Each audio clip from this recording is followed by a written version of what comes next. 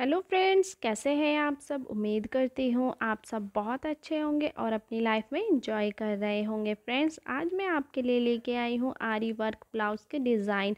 जो आरी वर्क है, वो बहुत ही बरीकी से की जाती है और बहुत ही प्यारी लगती है।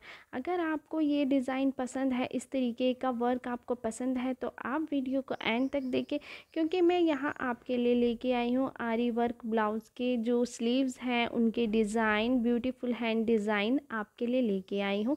आप इनको नेट के ऊपर भी बनवा सकते हैं या सिल्क फैब्रिक के ऊपर भी बनवा सकते हैं। आप कोई भी पैटर्न्स यहाँ से चूज़ कर सकती हैं और इस तरीके से एम्ब्रॉयडरी करवा सकती हैं।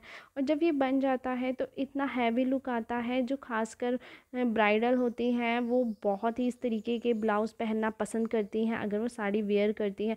क्योंकि जब इसके ऊपर आरी वर्क हो जाता है तो इतना खूबसूरत लगता है और काफ़ी हैवी हो जाता है जो कि ब्राइडल को हैवी पसंद होता है पहनना।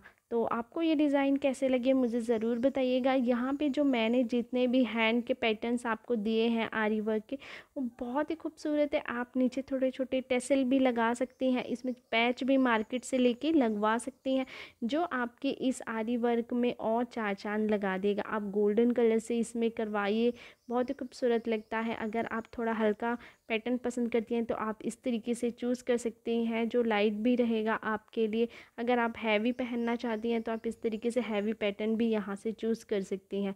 आपको ये पैटर्न्स आरी वर्क के कैसे लगे, मुझे ज़रूर बताइए अगर आपको ये पैटर्न अच्छे लगे हैं तो प्लीज़ लाइक कर दीजिए। Thank you friend